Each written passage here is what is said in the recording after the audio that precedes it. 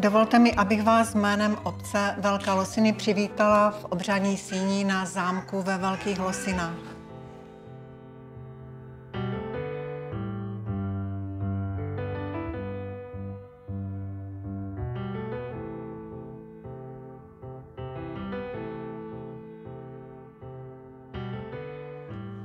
Vzpomeňte na svoje dětství, na své rodiče, babičky, dědečky, kteří pro vás vždy měli pochopení a čas. A právě babičky a dědové díky svým životním zkušenostem a nadhledem pomáhají rodičům s výchovou jejich dítěte.